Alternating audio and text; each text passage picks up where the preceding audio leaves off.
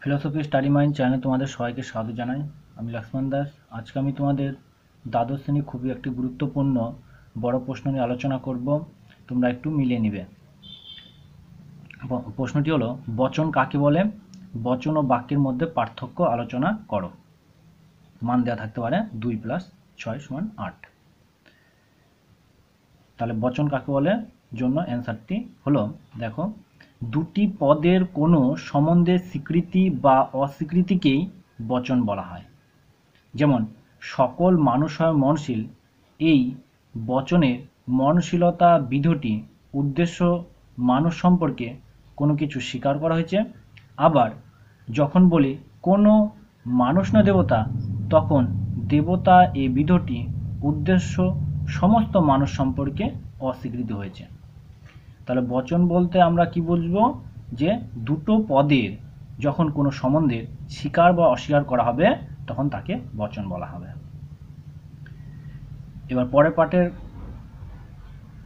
কোশ্চেনের জন্য অ্যান্সারটি দেখো, বচন ও বাক্যের মধ্যে পার্থক্য। বচন ও বাক্যের মধ্যে যেসব গুরুত্বপূর্ণ পার্থক্য রয়েছে, সেগুলি হলো, এক নম্বর, গঠনের দিক থেকে বচন ও বাক্য এক নয়। বচনের অন্যতম চারটি অংশ হল পরিমাণক, উদ্দেশ্য, সংযোজক, বিধেয়। কিন্তু বাক্যে থাকে দুটি অংশ, উদ্দেশ্য ও বিধেয়। এই তোমাদের আন্ডারলাইন করা আছে, এগুলো একটু ভালো করে দেখবে, এগুলো থেকে আবার এমসিকিউতে থাকতে পারে কোশ্চেন দুই নম্বর, ব্যাকরণে বাক্য লেখার সময় সংযোজককে সর্বদা স্পষ্টভাবে উল্লেখ করা হয় না। তাহলে ব্যাকরণ ক্ষেত্রে সংযোগকে সর্বদা স্পষ্টভাবে উল্লেখ করা হয় না।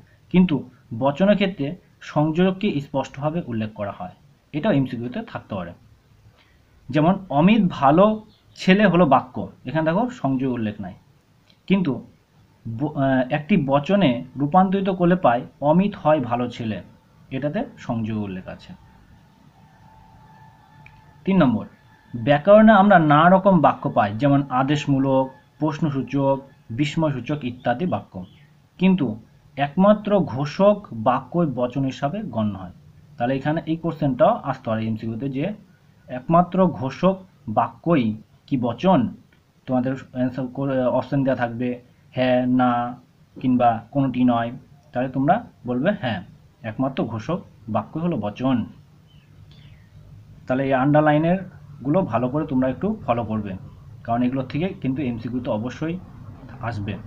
চার নম্বর বাক্যের ক্ষেত্রে গুণ ও পরিমাণের সর্বদা স্পষ্টভাবে উল্লেখ করতে হয় না। কিন্তু বচনের ক্ষেত্রে গুণ ও পরিমাণকে সর্বদাই স্পষ্টভাবে উল্লেখ করতে হয়। যেমন, মানুষ মনশীল হলো বাক্য এবং তার বচন রূপ হলো সকল মানুষ হয় মনশীল। পাঁচ নম্বর, বাক্যের সত্যতা ও মিথ্যাত্ব নির্ণয়ের প্রশ্ন ওঠে না। কিন্তু বচনের ক্ষেত্রে সময় সত্যতা মিথ্যাত্ব নির্ণয়ের প্রশ্ন ওঠে। ছ নম্বর, অবরোহ অনুমান বাক্যের অনুমানের বচনের আকারগত সত্তার দিকে লক্ষ্য রাখা হয়। কিন্তু আরোহ অনুমানের ক্ষেত্রে আকারগত ও বস্তুগত উভয় প্রকার সত্তার দিকে লক্ষ্য রাখা হয়। উপরোক্ত আলোচনা থেকে পরিশেষে বলা যায় যে, সব বচনী বাক্য, কিন্তু সব বাক্য বচন নয়। এই আজকে তোমাদের একটা নোট দিলাম।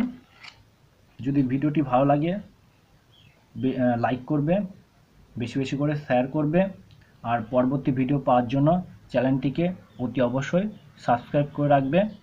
আজকের মতো এতটুকু